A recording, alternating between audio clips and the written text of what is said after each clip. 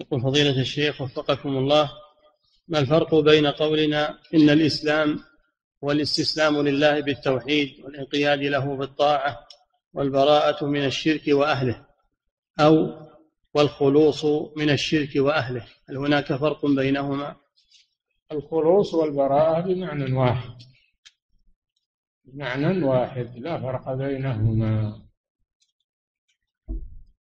ومعناه أنه ما يكفي أنك تفرد الله بالعبادة ولا تشرك ما يكفي هذا حتى تتبرأ من المشركين.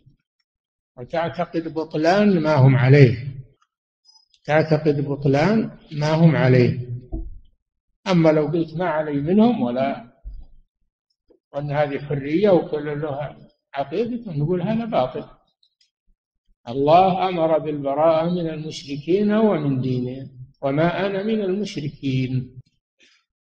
وإذ قال إبراهيم لأبيه وقومه إنني براء مما تعبدون إلا الذي فطرني فإنه سيهدين. براءة.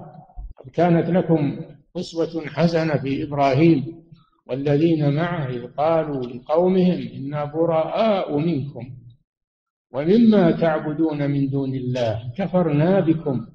وبدا بيننا وبينكم العداوة والبغضاء أبدا حتى تؤمنوا بالله وحده. هذا دين إبراهيم عليه السلام الذي أمرنا باتباعه. يأتينا في هذا الزمان من المتحذلقين. من يقول لا لا تتبرأ من المشركين لهم دينهم ولك دينك. الله جل وعلا قال لكم دينكم ولي دين من باب البراءة لا من باب المسالمة ولا والموادعة وكل له دين لا. بل هذا من باب البراءة باب البراءة منهم ومن دينهم. ما هم من باب إقرارهم على ما هم عليه وإقرارنا نحن على ما نحن عليه وكل له دينه لا. هذا ما هو صحيح. نعم.